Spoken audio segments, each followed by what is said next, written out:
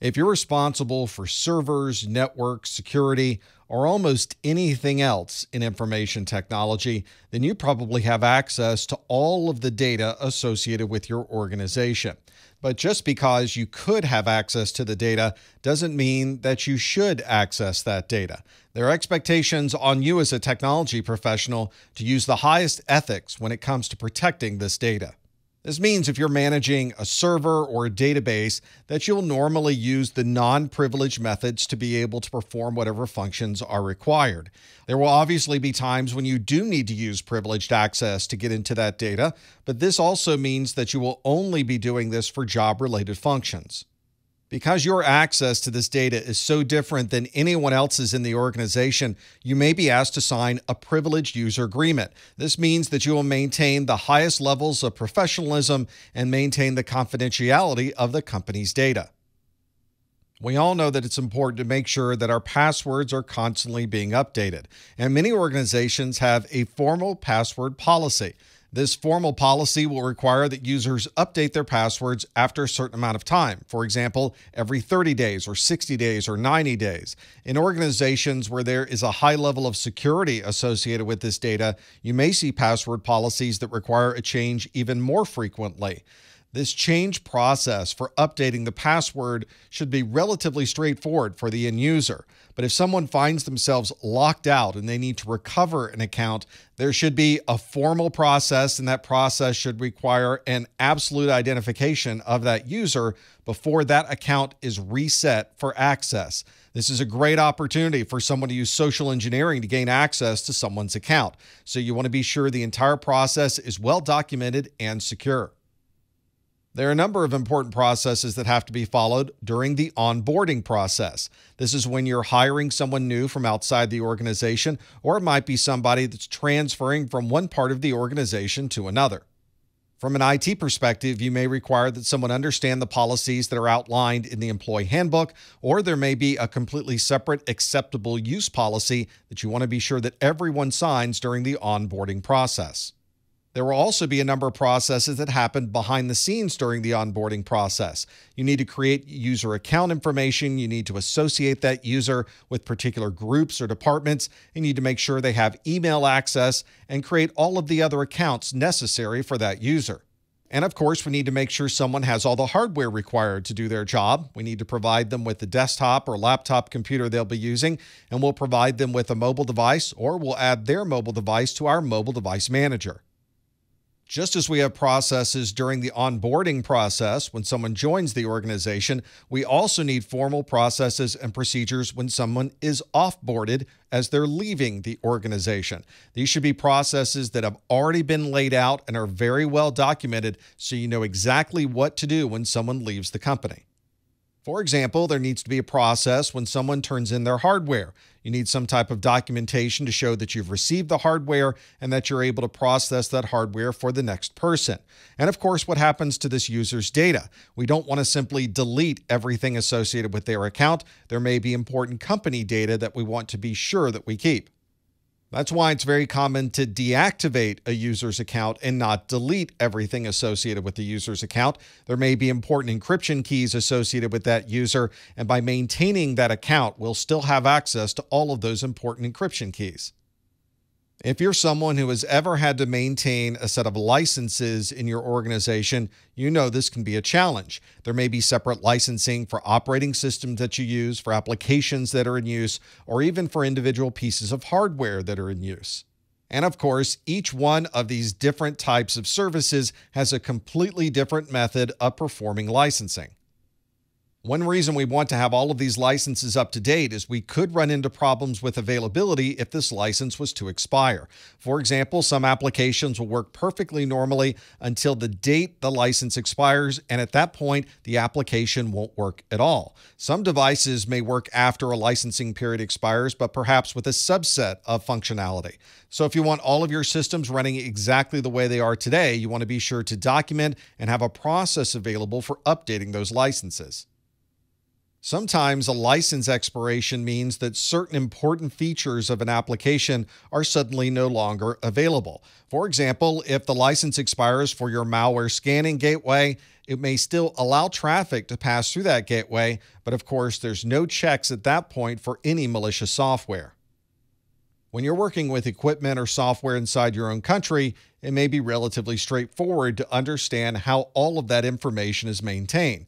But if you ever need to send any of that information to another country, there may be specific rules and regulations in place on what happens with all of that hardware and software.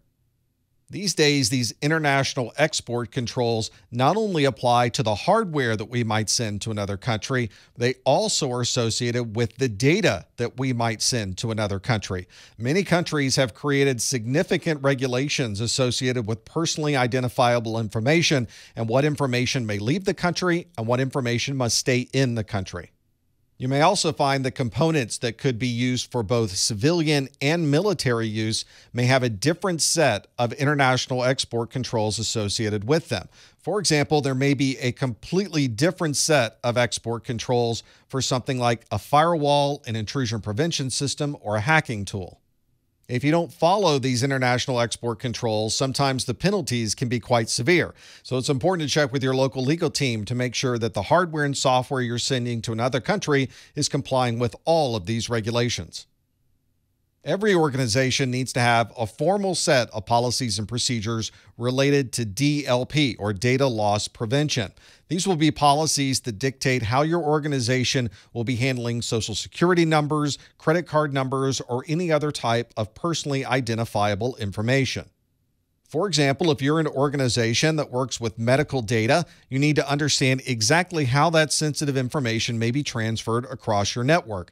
Do you use encryption to make sure that information is secure? And how is that encryption enabled for that data?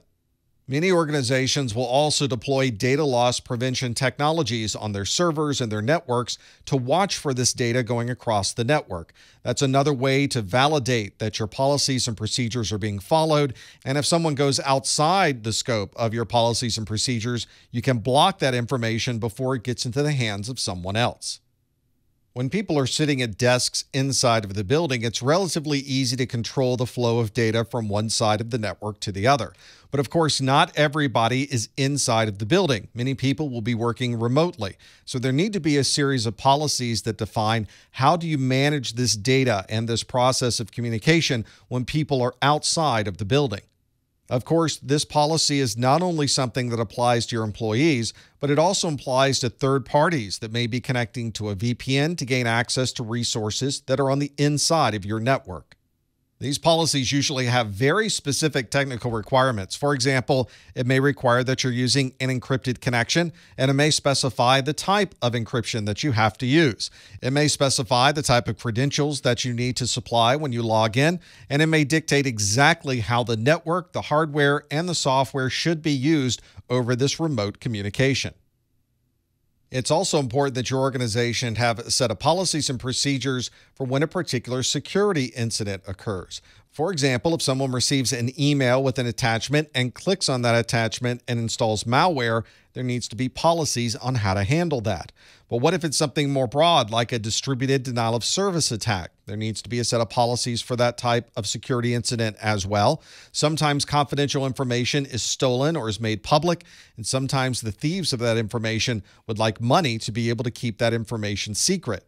Or it may be that someone on the inside has installed peer to peer software, and now someone who is external to your organization can easily gain access to your internal resources. The security policies that are looking for these incidents should first start with how you would identify one of those incidents in your organization. For example, there should be an automated monitoring system that is constantly looking for these types of security issues. You want to be able to alarm if an issue is discovered and alert all of the appropriate people that need to react to that particular security incident. Each type of attack will obviously need a different type of response. Your processes and procedures should already know how to handle different categories of attacks. An email issue, for example, may be handled very different than a brute force attack. You should also have a set of policies that determines who gets contacted for these types of attacks. If it's something relating to email, it may be a very small group of people that are contacted. But if this is a distributed denial of service attack, there may be a much larger group of people in your organization who need to respond. All of these procedures need to be created well before an incident occurs. Everyone needs to understand what these processes and procedures are, and there needs to be training and exercises so that everyone knows exactly what to do when a security incident happens. The use of our mobile devices is blending together these days between our personal life and our professional life. And an organization needs to have a set of policies and procedures on how to handle the BYOD, which is bring your own device. You may also see this referred to as bring your own technology. With BYOD, the company doesn't own the mobile device. Since the end user owns this device, there will certainly be personal email messages and personal pictures and other data on that device. But since it's also used for business, there may be company information on this device as well. That's why it's important to establish a policy early on on exactly how this data is managed. For example, you may require that the user has a lock screen that locks this device and has a certain type of password to protect both their data and the company's information. And of course, there needs to be a change process in place if this particular device is traded in, if it's upgraded, or if it's sold to someone else. All of your end users should be aware of these processes and know exactly what to do if any one of these situations occurs. Can your end users send personal email messages from your corporate email account? What types of websites are appropriate for someone to visit when they're using a corporate laptop? This type of information should be well documented in your AUP or your acceptable use policies. The AUP doesn't just cover a laptop or desktop computer, but it covers every type of device a user may have access to. This might be the telephones that you have in your organization, computers, laptops, mobile devices, tablets, and anything else that is touching the network. Every organization has a different philosophy when it comes to what is acceptable on the network, which is why it's important that all of this information is documented. If this ever comes up in a third party environment like a court system, you'll be able to document that this user knew that this particular thing that they were doing was inappropriate on this network. And if someone happens to be dismissed from the organization by violating these acceptable use policies, you have documentation that proves that the user knew exactly what they were doing was unacceptable to the organization. In your technology career, at some point, you may be asked to sign an NDA. This is a non disclosure agreement. It's a confidentiality agreement between two parties that says that you're not going to tell anyone else about this confidential information.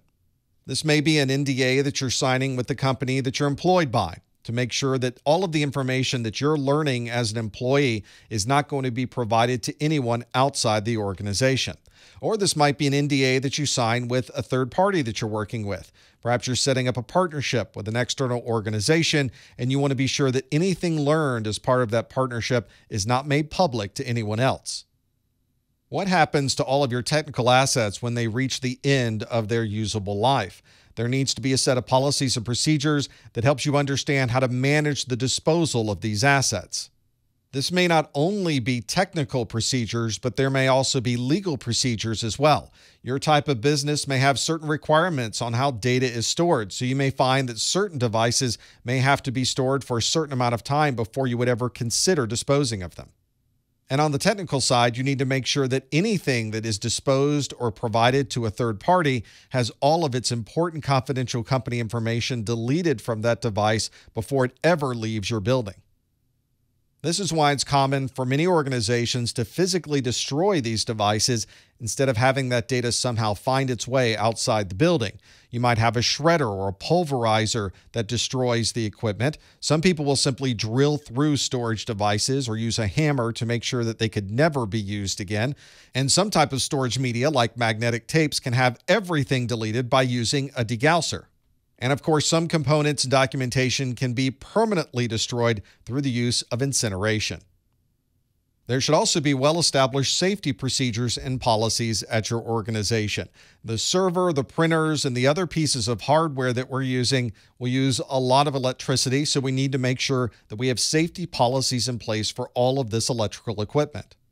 We also need to think about the safety of our employees. If they're working around manufacturing equipment, we may have a very specific jewelry policy. If they're working with cables, there may be cable management policies. And of course, it's important that everyone use proper lifting techniques and have fire safety procedures in place. IT professionals also handle a lot of toxic waste. There's acid inside of batteries, and printer toner can be dangerous if it's not disposed of properly.